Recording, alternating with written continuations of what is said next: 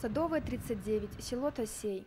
Здесь в последние годы своей жизни Забайкальский, или как он себя по-другому называл, русский поэт Михаил Вишняков, предпочитал проводить время. Вдали от цивилизации, в тихом и спокойном месте у своего друга Вячеслава Вьюнова. Вместе они работали на покосе, ходили в тайгу. Сегодня, даже спустя десятки лет, друг поэта хорошо помнит тот день, как состоялось их знакомство с Михаилом Евсеевичем. В 1969 году Михаил Вишняков работал в газете «Комсомолец Забайкалье», а Вячеслав Юнов принес в редакцию свое первое стихотворение. В нем было много недочетов, вспоминает сегодня Вячеслав Александрович, но Вишняков, выбрав самые лучшие из него строки, отдал произведение в печать. Вот тогда-то и началась дружба, которая продолжалась много лет. Большой человек в круглых, в круглых немодных очках с увеличительными стеклами, глыба, рыжий, веснущатый, э, такой э, очень добродушный, большие ладони, первое впечатление было.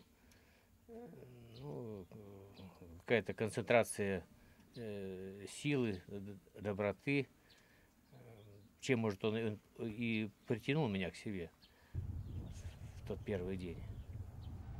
Каждое лето Михаил Вишняков с друзьями приезжали на Тосей, где внимательно читали стихи начинающих литераторов.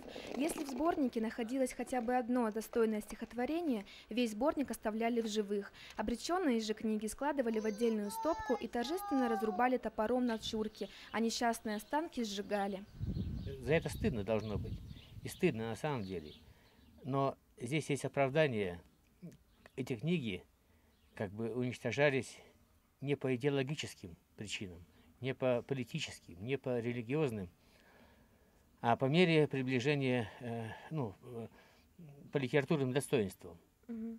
То есть если это не литература, если это, ну, слава богу, мы могли, умеем отличать, что такое литература и что такое не литература. Если это графомания чистой воды, то вот, вот это оправдание единственное. В 2005 году было выпущено два тома произведений Вишнякова, тиражом 3000 экземпляров. Стихи и поэмы на вечные темы о любви, дружбе, забайкальской природе, просто о жизни. Как у, у любого поэта есть стихи э, глубокие, которые переживут, э, имеют долгую жизнь. Есть, есть э, стихи на какой-то эпизод, на, на, на время, на, на злобу дня – как у всех говорю, есть стихи многоплановые.